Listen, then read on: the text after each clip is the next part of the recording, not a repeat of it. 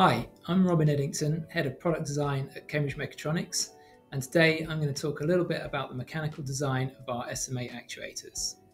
Every SMA actuator starts with a static component, fixed to another part of the product, such as a PCB in a smartphone handset.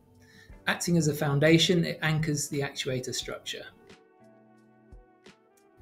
Counter to the static is the moving component.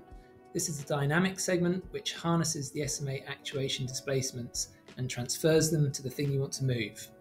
This could be a camera lens or image sensor, moving a fluidics valve, or interacting with an adjacent system in a device.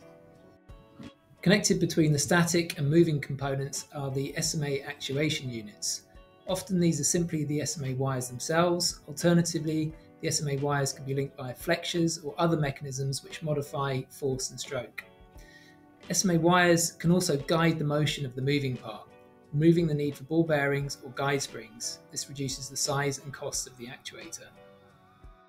Attachment of the SMA wire is a critical process as a mechanically strong and electrically stable bond is required. SMA wire crimping, a method pioneered and perfected by CML, has become the standard for joining SMA wires to actuators. To date, tens of millions of SMA actuators have been manufactured and reliably operated in the field using this technique. When SMA wire is heated, it contracts and the moving part is actuated. The wires are arranged so that contraction of one wire can be synchronized with the extension of another, preparing it to pull the moving part in the opposite direction when required. CML's proprietary resistance control delivers accurate motion without Hall sensors, and so this reduces the size and cost of the actuator further.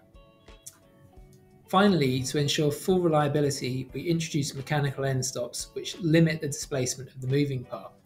This prevents the SMA wire from overextending if the product experiences shock, like when a user drops their smartphone. SMA wires replace coils, magnets, bearings and Hall sensors, which enable small, simple actuators. When combined with the natural benefits of SMA, which are high force, non magnetic, efficiency, and precision, it is possible to tailor the actuator design to many applications. Examples of these are cameras or haptic devices in smartphones, fluidic valves or pumps in medical products, or actuators that manipulate lenses or displays in AR VR headsets. For more information on SMA and its applications, you can check out our website or the other videos on our channel.